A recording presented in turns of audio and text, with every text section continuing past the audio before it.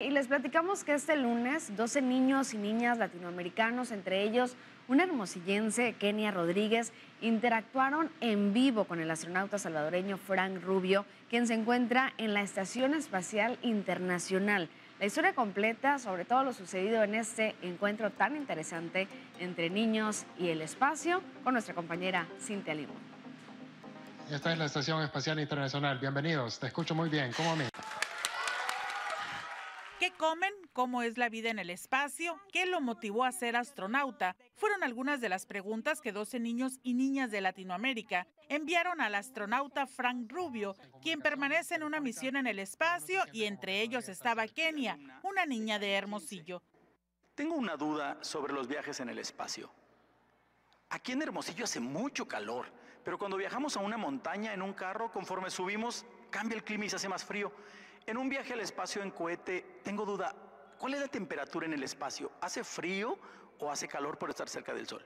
Frank respondió a cada una de las preguntas a través de un enlace que llevó a cabo la Asociación de las Televisiones Educativas y Culturales Iberoamericanas y que denominó Iberoamérica en órbita y estaban relacionadas con su vida profesional, personal y hasta lo que comen en el espacio. Es muy importante saber que eh, todo lo que se puede se hace para bajar el peso de las cosas que se vuelan el espacio, porque es increíblemente em, difícil y cuesta mucho cualquier cosa de, peso. Entonces, toda la comida viene ah, sin agua, si pueden.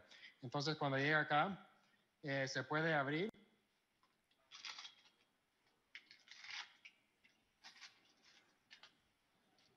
Ahora, esta es, eh, o esta es una ensalada de mango al interactuar desde el espacio a la Tierra, dijo que poco a poco se ha acostumbrado a vivir en una gravedad cero al estar a 402 kilómetros fuera del planeta y que le enorgullece inspirar a nuevas generaciones. Eh, porque todos esos jóvenes yo creo que van a hacer grandes cosas, eh, muchas cosas más grandes de lo que nosotros hemos hecho.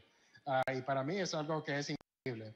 Entonces, ah, sigan adelante, estudiando, siempre tratando de mejorar y ser respetuosos a los, a, los que tienen alrededor, porque eh, juntos con nosotros se podemos hacer muchas más grandes cosas.